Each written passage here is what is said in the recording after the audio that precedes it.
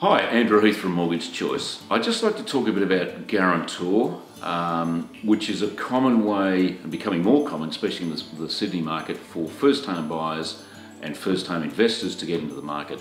What it essentially means is that uh, it means the guarantor puts a property up as joint security for your purchase, uh, which actually negates the need for the borrower to have a, a deposit, which is probably one of the biggest detractors for first home buyers getting into the market. Uh, so the guarantor will put the property up as security, uh, linked to the property that the borrower is, is uh, going to purchase. It can also save you tens of thousands of dollars on what's called lender's mortgage insurance, which is a mysterious but quite insidious cost that uh, borrowers pay on behalf of the lender. Um, so yeah, give me a call if you want to discuss it further, uh, but it is a very common way for first-time buyers to get in the market.